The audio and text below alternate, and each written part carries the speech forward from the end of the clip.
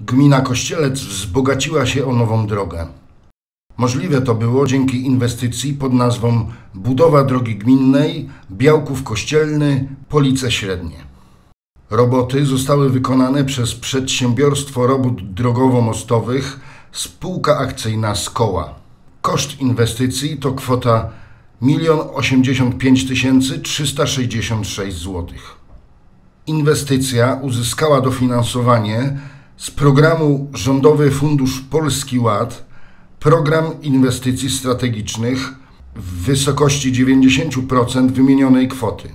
Pozostałe 10% stanowił wkład własny gminy Kościelec.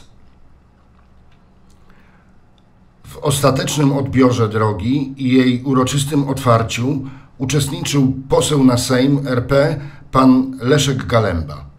Proszę. Kto tam? Trzy, cztery. Jest, brawo! Podzielicie się wstążką na pamiątkę.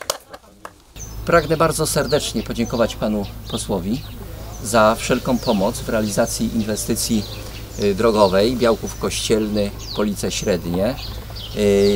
Wspólnie udało nam się wykonać tę inwestycję. Inwestycja bardzo ważna, istotna dla y, społeczeństwa całej gminy, można powiedzieć, Kościelec, z uwagi na to, że droga, na której tutaj stoimy, y, jest drogą przelotową, a więc y, bardzo dużo osób będzie korzystało z tej drogi i jak już zresztą przed chwilą dowiedzieliśmy się i wcześniej ludzie ze mną kontak- kontaktowali się, no należy ona do jednych y, z najlepszych, najważniejszych inwestycji y, drogowych, która y, w tym roku powstaje.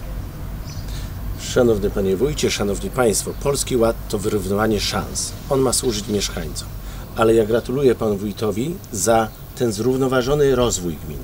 Tak samo jak rząd dba o zrównoważony rozwój kraju, tak Pan Wójt gra o, dba, aby w każdej miejscowości, czy to są Police, czy Kościelec, traktować gminę równo.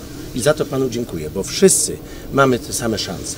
I Police średnie zasługują na tą drogę, i gmina Kościelec, i wewnątrz, można powiedzieć, Kościelca, te drogi, które są budowane, to też zasługa Pana Wójta. Ja za to dziękuję. To jest najlepszy przykład współpracy rządu i samorządu i myślę, że wiele możemy jeszcze zrobić dla gminy Kościelec, dla powiatu kolskiego, dla Polski.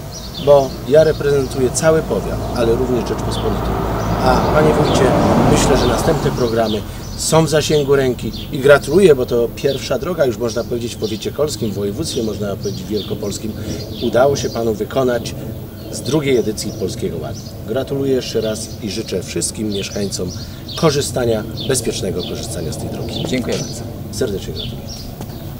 W ramach inwestycji wykonano pełną podbudowę z mieszanki kamiennej i nawierzchnię bitumiczną z betonu asfaltowego wraz z poboczem kamiennym na odcinku drogi gminnej o długości 1603 metry bieżące. Ponadto zamontowano odpowiednie oznakowanie drogowe, pionowe i poziome, zgodnie z zatwierdzonym projektem organizacji ruchu.